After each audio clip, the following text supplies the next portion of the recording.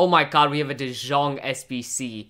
De Jong's card is so nice, dude. Look at this card. The card looks so good, man. Four star, four star, high, medium. These crazy play styles. I believe he does have Trivela Plus. 85, 86, 87. Low key, he could be worth it. This card